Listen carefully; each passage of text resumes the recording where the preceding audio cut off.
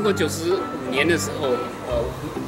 喜欢看书，我们就买了这个台湾的禁制亭这本书，结果发现哦，它里面有写说，龙潭的禁制亭还保存着全省四个呃送圣基有这种送圣基祭典的这个四个场地之一。那可是我当年来现场看的时候，发现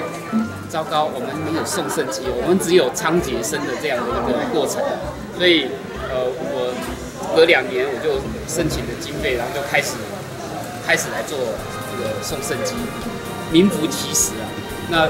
呃这样子，其实我们后来就一直到民国一百年，我们在客庄文化资源普查的时候，我们发现了这个岛的账本。那再求再由这个账本里面去看到说，原来我们做的仓颉生只是送生机的呃，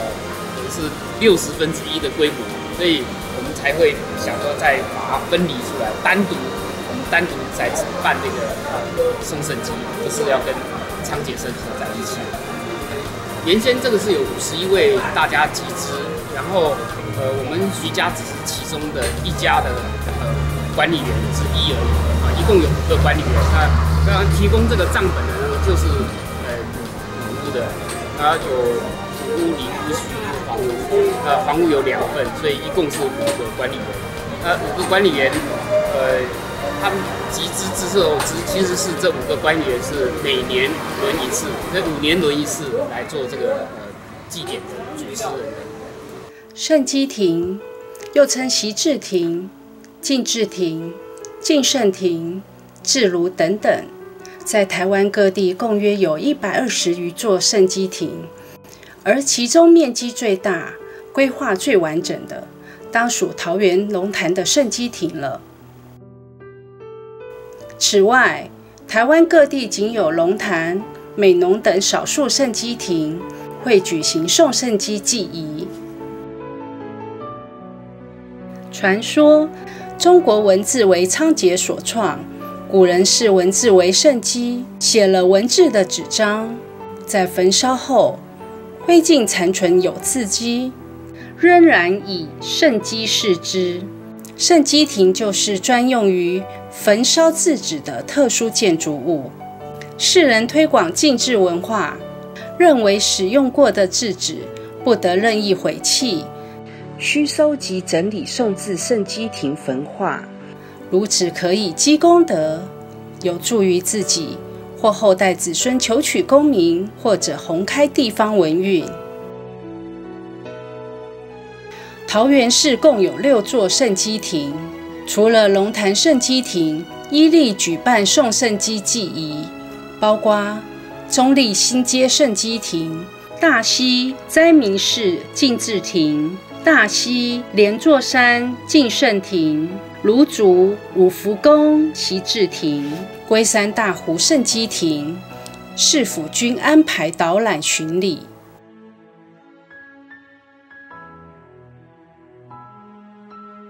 而龙潭圣基亭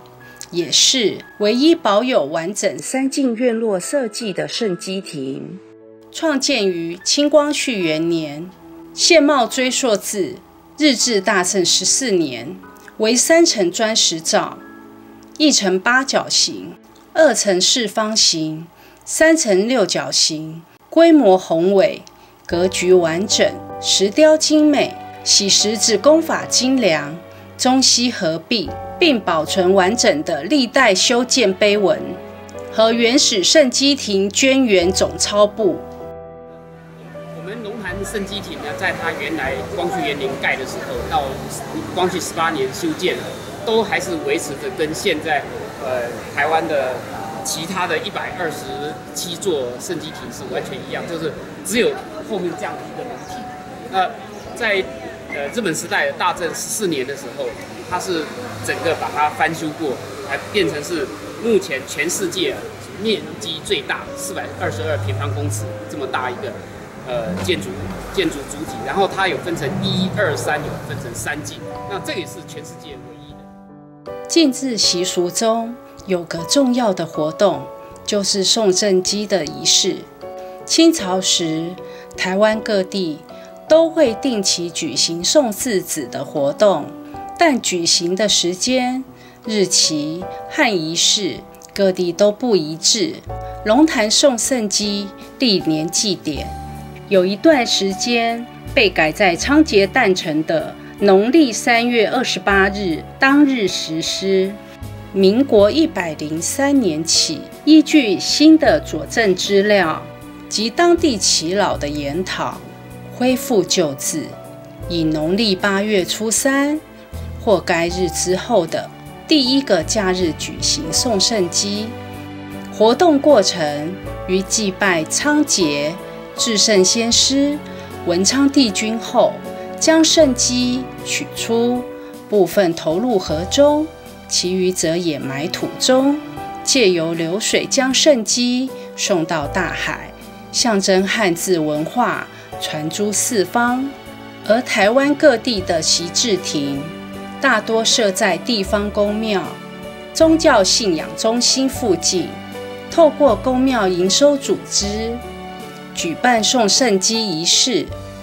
有的地方在禁制亭列入古迹保护后。加上现代生活观念改变，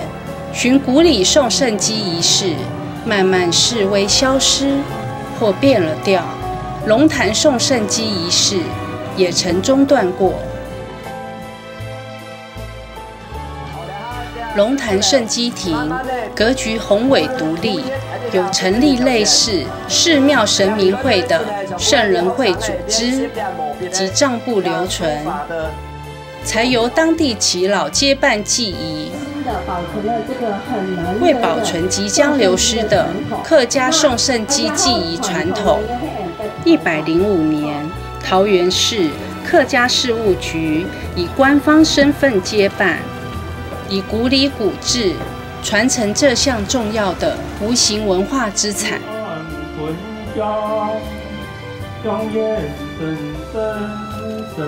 龙潭圣基亭，二零一七年的送圣基于九月二十三日举行。依往年例，举行三县古礼祭典，为使该祭典得以延续传承，由龙潭在地耆老及礼生培训工作坊，历经一个多月的培训活动过程，有所训练出来的学员担任祭典礼生。并由石门国小师生担任乐声，由客家委员会副主委范佐明、市府秘书长李宪明、客家事务局局长蒋捷安等人，率老中青三代重现昔日客家乡亲收集制纸、至圣基亭焚化仪式，期许透过仪式让大家知道古人的习俗。并唤起对静置习子文化的重视。活动会场周边另有踏碑、客家诗赋画、一掷千金、投壶等游戏摊位，供民众一起体验文字之美。第一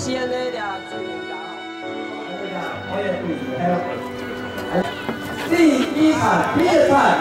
第三队。第一场屏风射斗。好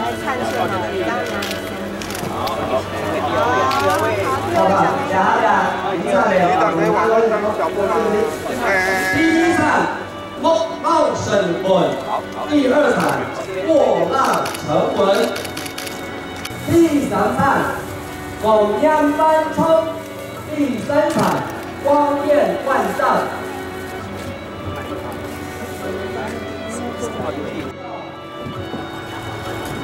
火花春盛，火花春，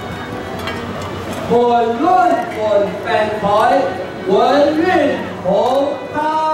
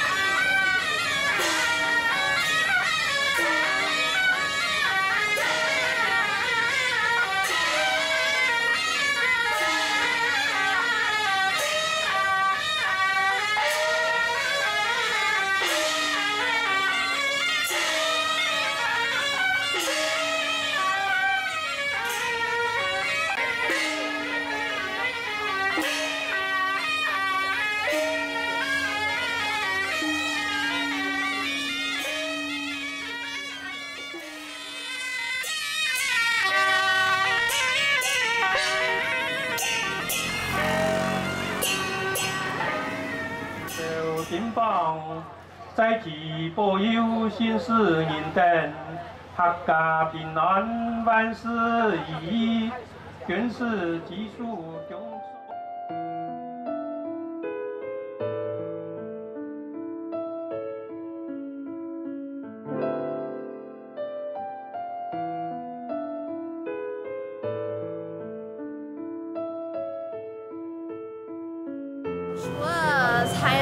加圣诞节活动，还弄了破画杯的游戏。这个活动是送升级，是由学校发送信息，而我们参与，让人们知道纸张跟文字的重。要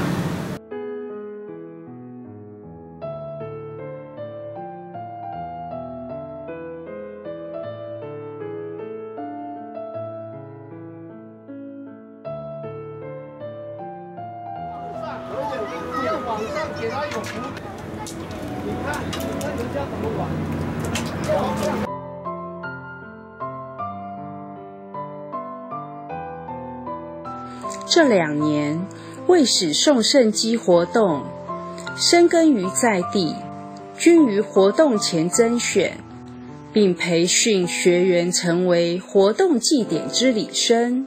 举凡迎神、读祝文、三献礼等仪式，均在交通大学罗列师教授指导下完成培训，并于活动中担任祭典礼生。我是第三次参加那个送圣机这个仪式，那今年是第一次参加这个礼生这个培训这样子。其实礼生培训就是我们在那个客家的事务局这边，然后呃借用它的空间跟它一些呃场地，那就常在周三啊，或者是说假日的时候，我们去进行这样子一个一个学习啦。那在这个过程当中啊，觉得有很多的呃东西是之前是比较没有这么明确的了解，可能是参加活动之后就哎看着人家怎么就做，然后就跟着做。可是借由这一次的活动，可以比较清楚的知道哦是什么环节做什么事情。这个礼生培训啊，它对我来讲就是说，哎参与里面其中一个角色，它里面的其实位其实还蛮多的，主要是主机啦，或是热通啊、饮啊。那我们的角色就是算是在协助他们去做一些一些事务的一些，例如说拿香啦、放酒这样子比较简单，跟呃烧金子这个部分。今天这整个活动环节算是很很顺利啦。那呃当中也是有很多在呃还好还好有礼生培训这件事情，所以让我们在过程当中比较明确的知道，诶这个这个时间点这个角色里面是进行什么样的任务这样子。根据我们发现的一个老的账本，它里面记录的是各种的支出。那那个支出里面呢、就有李生，有吹手。那礼生各位刚刚看到的就是通啊、引啊、执事。那呃，吹手呢，其实就是我们今天的乐声，就是吹大号、小号这些。所以我们从那个蜘蛛里面去看到说，它其实就是用三线礼。那当然，呃，为什么很肯定呢？是因为在客家家祭的时候，传统也会用三线礼，可是那个就是所谓的文公家礼。那那个这个整个三线礼呢，其实是跟进口的三线礼是什么样子，规模的大小